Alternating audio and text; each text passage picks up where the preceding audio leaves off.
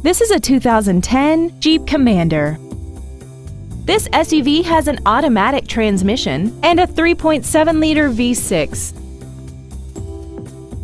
Its top features include air conditioning, external temperature display, a six-speaker audio system, a multi-link rear suspension, aluminum wheels, roof rails, traction control and stability control systems, brake assistance technology, side curtain airbags, and this vehicle has less than 30,000 miles.